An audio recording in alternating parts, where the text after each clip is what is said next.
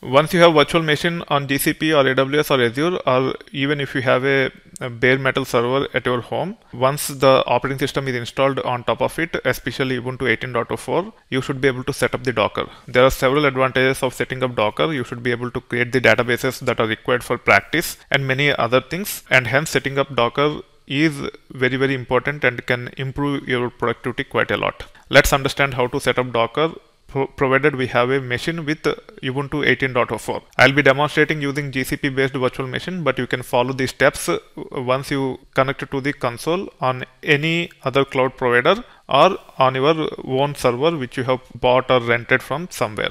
That being said, you can actually click on this link to get the instructions. This is DigitalOcean uh, link you can actually scroll down and you can see the title of this article. It is nothing but how to install and use docker on ubuntu 18.04 if you want to change the operating system you can actually change from here and then take it further. But for now i just wanted to follow this article which is based on ubuntu 18.04 first and foremost you have to update the apt. Apt is the ubuntu package manager. You have to update to make sure that all the required tasks are performed to connect to the latest repositories and start downloading and installing softwares from there.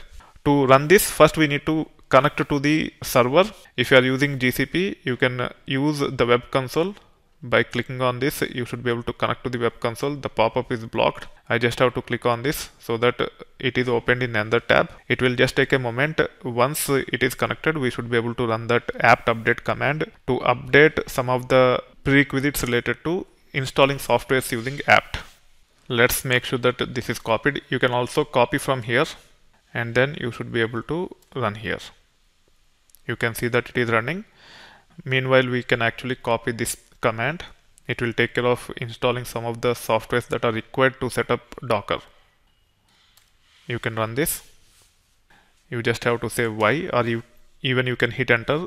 If something is in uppercase, it is the default and hence we can say y or we can hit enter directly. Once this is installed then we have to take care of running this command. This will prepare to set up docker on this machine. Once this is run again you have to update. For that again you have to run this apt update command.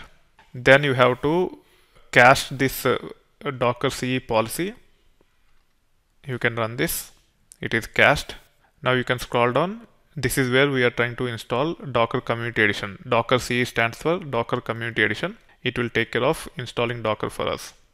It is saying uh, package Docker CE has no installation candidate.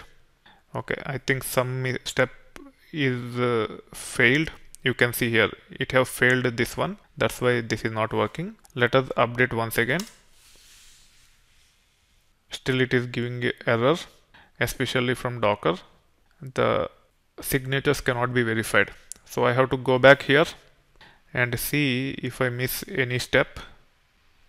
This is the one which will take care of uh, the signatures I guess. Let me run this once again. It is taken care. Now let me run this. I think this is the step which is missed earlier. I'm not 100% sure. I'm just running again. So first apt update then run this then run this then run this. This is successful. Last time it failed now it is successful. Now I should be able to update. I think even last time it was successful. This is the step which it failed. Yeah now it is also successful. Now you should be able to cache the policy. Now it is working fine. I think last time I missed this step. You just have to follow the steps and it should work. Now we should be able to install docker ce hit enter by default as y is capital it will be accepted.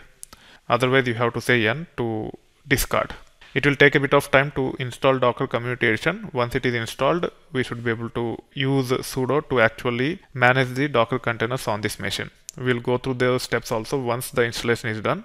Meanwhile we can go to this uh, page and you can actually copy this command which will facilitate us to validate whether the docker is up and running once the installation is done now the installation is done, we should be able to uh, run this command called as systemctl status docker and you can see that it is running. We can hit Ctrl C to come out of this.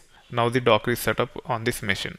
However, you can only run Docker commands using sudo. For example, if you try to see what all containers are running at this time, you can say docker ps, but it is saying permission denied. If you say sudo docker ps like this, it will work. To avoid using sudo to run any docker commands, we can actually add the user which is being used to login to the docker group. Once it is added to the docker group, we don't need to use sudo like this. So let's understand how we can actually add this user to Docker group. Again, you can go back to this article. You can see the command here. So dollar $user is a special environment variable which is available as part of the Linux environments. If you say echo dollar $user, it will actually give us the username using which we have logged in into this virtual machine. Using that approach, we can use this command called as user mod and we can assign group called as docker to the user that is logged in. So I can run this command and it will take care of adding the current logged in user to Docker group. Now it is added. You can exit from here. You have to restart the session. You don't need to restart the virtual machine. You just have to restart the session. Once you exit, you can again expand this and click on open in browser window. It will open uh, the Linux terminal as part of the browser. It is also called as web console. Once it is connected, now we should be able to run commands such as docker ps without using sudo because the user D Gadiraju is added to the group docker. Now I am connected. I should be able to run docker ps command. You can see that it doesn't throw any error. It just didn't return anything. As we do not have any containers, it just didn't return anything. Let's go back to the material to conclude this topic, we'll also have to validate Docker by creating simple hello world container. You just have to run one simple command to actually start the container. It is nothing but docker run hello hyphen world and you can hit enter. It will download the hello world image from the Docker Hub repository. It will just run the container and you will see the message here hello from Docker. This is primarily to validate whether Docker is working or not on this machine. To validate the details with respect to the containers and images which are the core components of Docker, you can run commands such as docker ps. However, it will not return anything because as of now it is not running. It just throw that message and then uh, went into the stopped state. To actually get the details about all the containers that are there at this time, both stopped and running, you can use this hyphen a and you should be able to see this container. Also, you can actually say docker images to see the image related to hello world as we are able to use this docker run command and uh, pull the hello world image and also use it to print this message. It actually takes care of the validation of the docker that is running on this machine. So make sure you run this command and confirm that it is running without any issues. As we have done with respect to setting up of the docker and also adding the user logged in to the docker group and also validated the docker by creating hello world container now it is time for us to go to the further topics related to the course which we are in